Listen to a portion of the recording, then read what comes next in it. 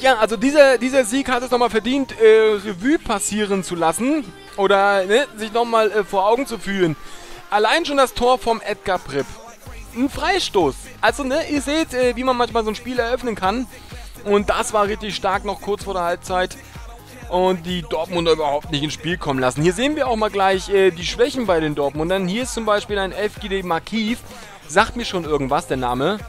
Äh, ist, ein, ist ein talentierter Russe. Aber äh, für die Dortmunder Mannschaft in der 77 frisch verpflichtet wahrscheinlich, ne? 2014, alles klar, ja, hier sieht man es.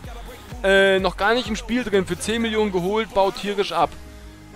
Dann haben wir hier noch einen, der war auch richtig schwach hier, der Juvilouv. Ne, äh, kennt man gar nicht. Ist zwar, hat eine 80, ist ein Holländer, aber Juvilouv läuft anscheinend auch nicht so richtig. Auch eingekauft für 15 Mille, ne. Äh, ihr seht, das Mannschaftsgefüge stimmt da einfach nicht. Die Abwehr ist überhaupt nicht eingespielt. Und das ist brandgefährlich. Ein Squilacci, Franzose, 34 Jahre alt, 2,1 Millionen wert von 2,8 Millionen. Spielt schon ein bisschen länger jetzt bei den Dortmundern. Aber wo sind sie alle hin? Ne? Die bekannten, die bekannten äh, Verteidiger ist keiner mehr da. Äh, der Kai Schmidt, das ist natürlich auch nichts. Äh, wer soll das sein? Ne? Äh, mit einer 70 im, im Dortmunder Kader geht er ja auch gnadenlos unter.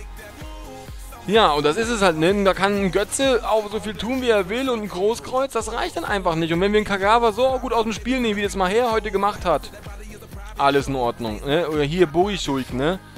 Ihr seht das, das sind alle Spieler, ne? Der hat zwar eine 75, aber, ähm, so richtig kam der gar nicht ins Spiel rein, ne? Das ist alles nicht so wirklich, äh, rund, was dort gelaufen ist. Bester Spieler bei uns war Stilic, finde ich klasse, obwohl er gar kein Tor gemacht hat. Aber äh, ganz, ganz solide gespielt und ich habe ja gesagt, er hat, er hat wesentlich mehr Ansätze an ja, eines äh, Julian Draxler wie jetzt ein Steffen Hofmann ne, mittlerweile. Also muss man ganz klar sagen und sich eingestehen. Passt einfach super. Sehr schön, dass Maisha getroffen hat. Umso schöner, dass Terrazino getroffen hat. Und für Brip gefällt mir es auch und gibt mir ja auch so ein bisschen recht, ihn drin zu lassen. Äh, aufgrund seiner Stärke, gerade bei Eckbällen oder auch, äh, ja, oder auch bei Freistößen. Wir sehen auch mal zurück.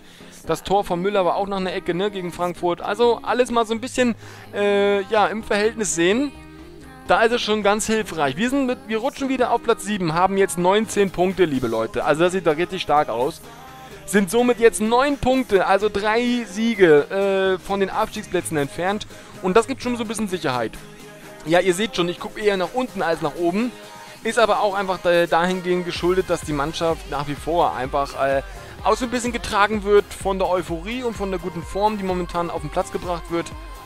Und das finde ich ganz, ganz, ganz, ganz stark, richtig geil, macht Laune ohne Ende und äh, wie ich auch schon im 3D-Spiel gesagt habe, das, kann das eine sehr, sehr geniale und geile Saison werden. Ne? Wie gesagt, Ziel ist es hier, Platz 9, auf dem befindet sich momentan äh, die Mainzer. Und äh, wenn das so weitergeht, hier sieht das doch richtig gut aus dafür, ne? Sehr schön. So, ich wette, Freiburg steigt nicht ab, sagt äh, Tobias Husterer von Mainz. Und ich würde sagen, wir würden wir jede Woche so spielen, wären unsere Leistungen nicht so schwankend. Ja, das stimmt schon, aber gut, äh, was willst du erwarten? Es schafft, Stilic schafft es. Schade, ich hätte gedacht, es schafft ein bisschen mehr gegen so einen starken Gegner in die Elf des Tages. Aber gut, zumindest mal Stilic, der ist auch, glaube ich, mal zum ersten Mal nominiert worden. Hier sieht man es auch ja einmal. Sehr schön. Dauergast momentan ist Ron Vla von den Hamburgern. Wäre auch ein Kandidat für uns, ne? Wenn wir uns besser qualifizieren sollten wie die Hamburger. Wäre das nochmal so ein äh, Spieler. Gut, da haben wir aber schon einen erfahrenen Bitroff. Äh, Bitrop würde ich ganz gerne da so lange laufen lassen, bis wir in der Jugend einfach was Besseres haben. Ne, klar. So, Modibo Mahija, sechs Tore mittlerweile, heute eins geschossen, drei Vorlagen, also Scorerpunkte 9. Sehr schön. Befindet sich in den Top 20, zumindest etwas. Ne? Könnte noch ein bisschen besser sein, aber zumindest etwas. Hier Lewandowski und Kagawa. Da sind sie, aber bringen tun sie nichts. Hier Kagawa nicht mal Vorlagen. Äh, doch, fünf Vorlagen, alles klar. 12 Scorer-Punkte, wenn wir nach Punkten gehen. Ja, da sind eine ganze Menge Leute vorne, alles klar. Wo ist ein Terrazino, der Klappstuhl? Wo ist er denn, der Knallkörper? Stilic ist sogar noch vor Terrazino mit 4 Punkten. Deni Alar mit 4 Punkten. Vom Müller mit 3. Stelins mit 2. Pogba und Terrazino kommt mit 2 Toren gerade mal da hinten. Ja, klar. Interessant. Richtig interessant. Gut. Alles klar. Und tschüss mit den Berlinern, würde ich mal sagen.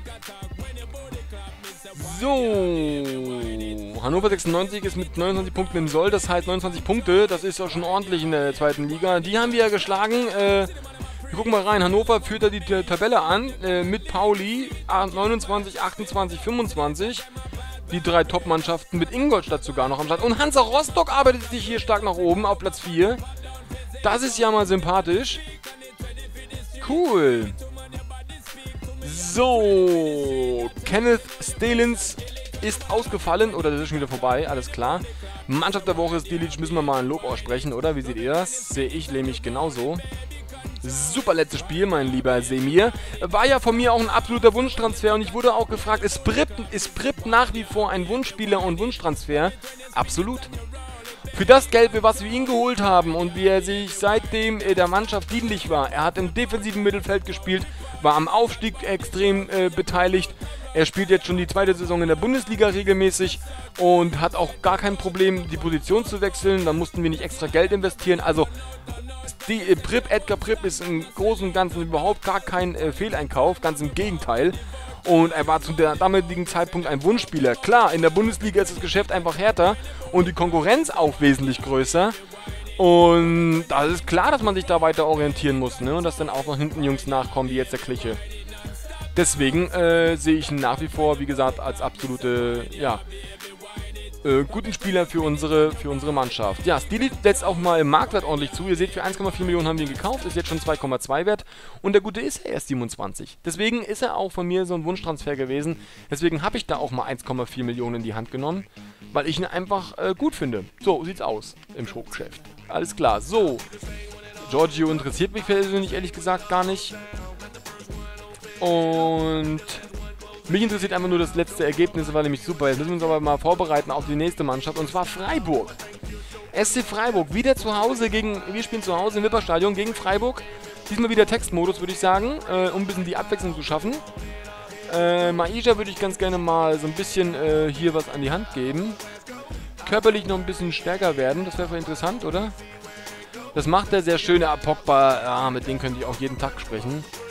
Mit Pogba könnte ich mal einen Club aufmachen oder so. Was gut trainiert, sage ich ihm einfach mal.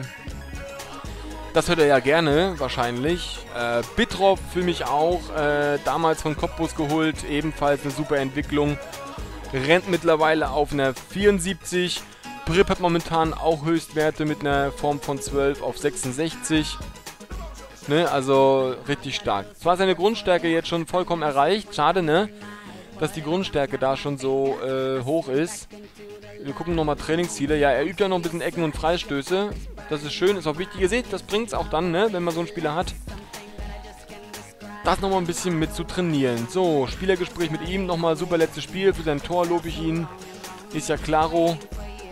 Und mit Formlowitz habe ich lange nicht mehr gesprochen, der so ein bisschen von der Form abbaut. Was ist denn da los, mein Guter? Hast du gut trainiert, alles klar. Sehr schön. Ja, Form müsste noch ein bisschen kommen, der gute Formlowitz, ne? Aber auch eine 76, muss man sich mal anschauen, ne?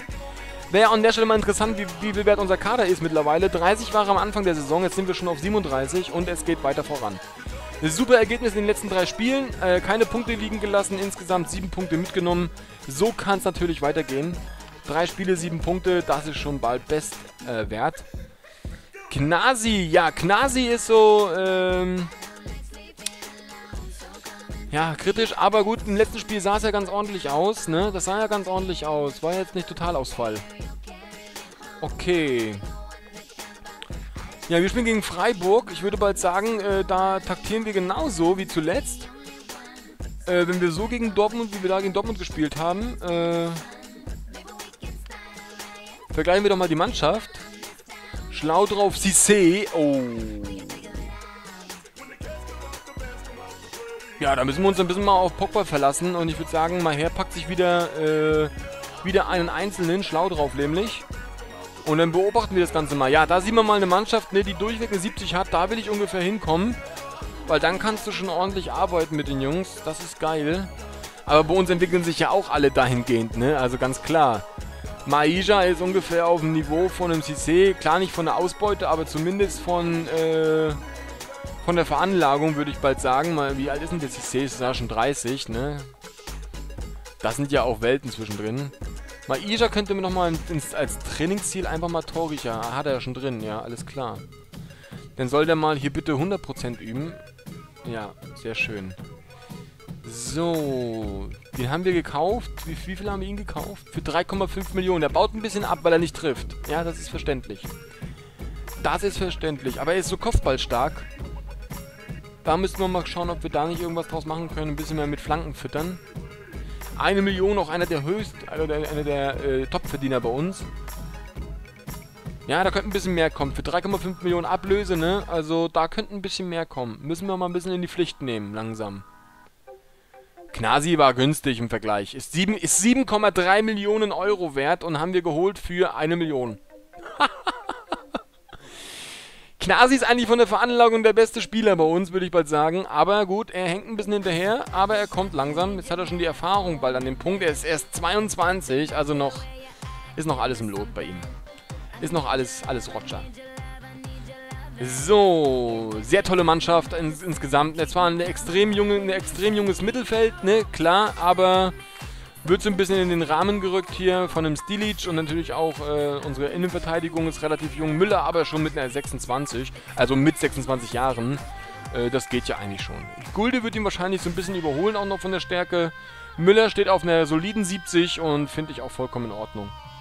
Ne, also an ihm ist doch auch nicht rütteln, oder? Ablösefrei geholt, er spielt schon Ewigkeiten bei uns und wird wahrscheinlich auch beim Karlsruher SC seine Karriere beenden. Spielergespräch mit ihm. Du hast gut trainiert. Ein bisschen mehr Verantwortung könnt ihr übernehmen, ja? Macht er das?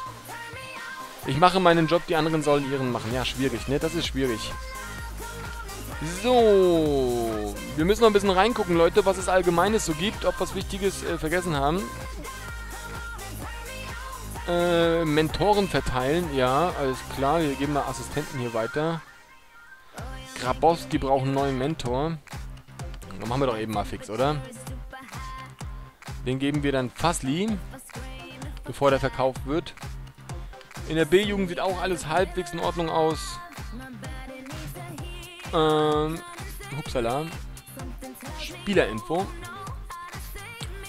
Und zwar bei Details geben wir ihm auch nochmal ordentlichen, ordentlichen Mentor. Haben wir denn keinen hier? Doch, Schubert. Du weißt ja gar nicht, wer Schubert ist, aber er ist nun mal da. So, C-Jugend. Da wäre dann noch Stefan Schulte. Hoffentlich kriegt auch mal ein etwas, etwas größerer. Dem geben wir mal her Pogba als Mentor. Dann kann das ja nur gut werden. Dann kann der Schulde ja nur gut werden. Ist jetzt aber auch schon äh, 13. Naja, schon, das heißt schon.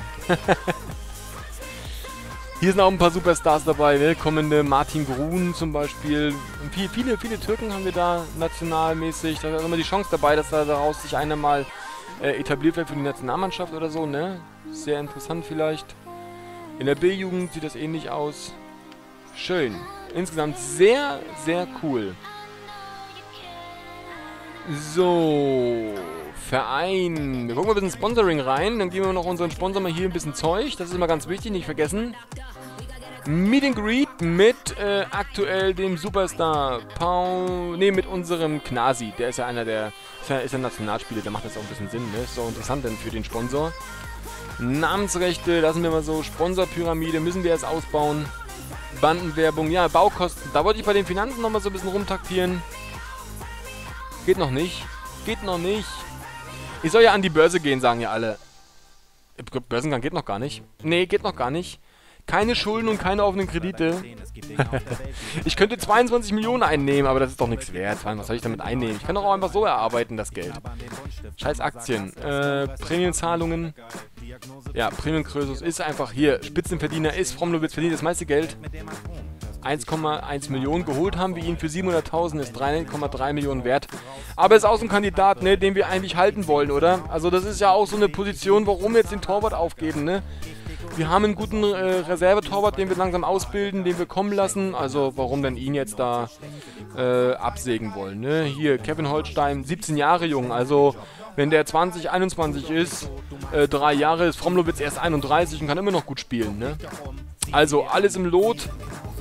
Für ihn natürlich jetzt ein bisschen schwierig, aber er trainiert mit der ersten Mannschaft. Was willst du mehr als zweiter Torwart? Ne, das ist einfach so. Es passt aber alles, bin ich sehr zufrieden. Also an vielen Positionen sind wir doppelt besetzt und auch gut besetzt. An manchen Ecken hapert es noch ein bisschen, da würde ich ganz gerne noch mal ein bisschen dran arbeiten, ein bisschen dran drehen. Aber ansonsten kann man mit der Mannschaft etwas erreichen, ne? Weil das Potenzial einfach da ist. Gut, okay, Leute. Mal ein bisschen weiterkommen, ne? Ich, ich quatsch wieder alles hier an die Wand. Jetzt kommt doch erst der Spieltag. Gegen SC Freiburg. Leider geil. So. Ich nehme mal einen Schluck von meinem schönen Schorle. Meisterliga ist noch nicht interessant. Gucken wir uns alles erst im neuen Jahr an, wenn es dann in die K.O.-Runden beziehungsweise in die äh, nach den Vorrunden geht. So, warum sind Sie Fußballtrainer geworden? Das Thema hatten wir schon häufiger, ne? ja, mit dieser tollen Mannschaft trainieren zu dürfen, das stimmt auch wirklich. Es macht echt Spaß. Mit der Community und dieser geilen Mannschaft.